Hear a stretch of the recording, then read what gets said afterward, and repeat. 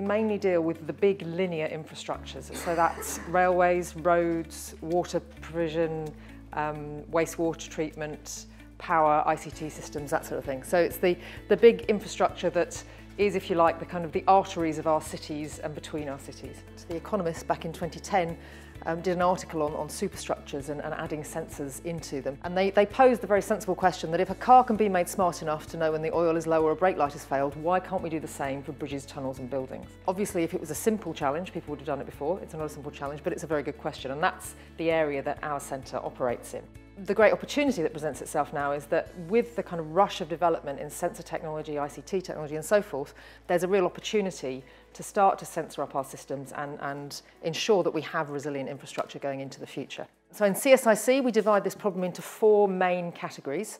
Um, starting at the bottom of this sort of pyramid, we have sensors and data collection. Um, as has been mentioned several times before, you need to have good data for any of this to work, um, or at least you need to know how bad your data is. So that's one of the areas that we look at. And one of our challenges is we work in a very chaotic environment. Um, we're working outdoors a lot of the time. It's a, an environment in which the public operates a lot, so things are very unpredictable in terms of how our data is being gathered. Once you've got the data, you've got to analyse and interpret it, and that's really the main area that we're all looking at today. And once you've analysed and interpreted it, you need to use it to make decisions as Professor Cheng said just now. And the sort of decisions we're looking at are how do we manage our assets? Now again, one of the big challenges we have in our, our realm is that our assets are very long lived. We might be managing assets that have been around for 100 years, or we might be building assets which might be expected to be around for another 100 years. So we've got a, an extremely long time frame that we need to gather data over and understand that data. So our centre has instrumented a huge amount of infrastructure and a number of our industry partners are starting to do this for real in industry as well. So we're starting to generate some volumes of data. And the important thing is we use a whole range of different sensors to do this. Some of them are individual point sensors that we stick on things. Some of them are um, fiber optic, so it's a bit like a, having a long piece of string that you drape over your structure. It's a 2D thing in a 3D space. Um, some of them are monitoring and measuring how people are moving around a space. Some of them are using mobile phone sensors. There's a whole range of things we can do to gather data and it's all different types of data. So our main challenge, if you think about the kind of the V's of, of big data, really is variety. And that variety is, is, if you like, a physical variety. So position, are we measuring position in one dimension, two dimensions, three dimensions with scans? Um, location, which is a different thing. Where is that sensor?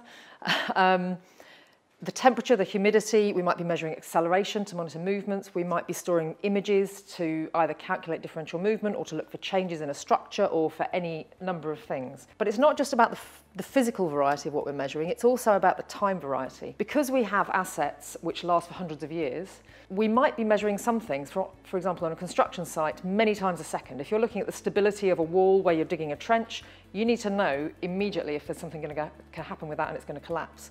On the other hand, some sensors you might be happy that they report once a minute, once a week, once a month, or even once a year when you're looking at things that are going to be changing over the long lifetime of that asset. So we've got variety in two kind of different axes.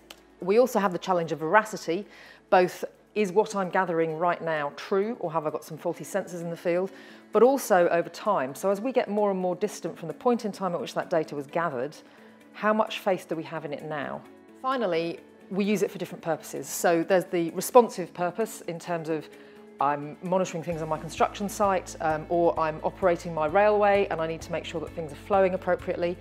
There's, if you like, what I call the, the reflective purpose. So we're still in, the, in, the, in this sort of dynamic mode, but what can I learn from last week's operation or the previous piling operation that I did in construction to improve the next time I do that? And then there's the much longer term piece, which is what condition is my asset in and how much longer can I operate it for, for example, before I need to go in and maintain it. So we're kind of, we're cutting that, that time axis in different ways for different purposes. So in the future, what we're hoping to do is working with this sort of graph data approach apply some machine learning algorithms, um, such as deep learning techniques, to extract the features and correlations. And then, as I said, develop this way of doing real-time prediction on infrastructure behaviour based on those statistical correlations and relationships and having them feeding into each other in order to, and this is our centre's tagline, transform the future of infrastructure through smarter information.